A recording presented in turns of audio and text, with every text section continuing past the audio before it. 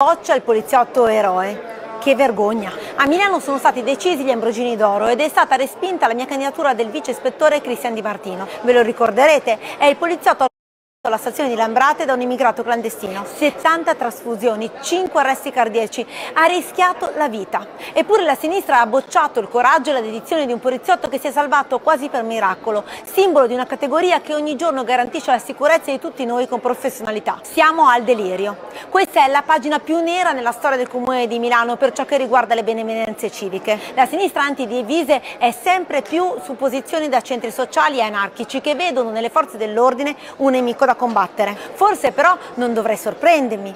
Il silenzio della sinistra sulle violenze dei centri sociali e collettivi a Bologna e a Torino, quelli contro le forze dell'ordine, è stato indecente. Sala che da tempo contesta i metodi per l'assegnazione dell'Ambrogino d'Oro, che cosa dirà?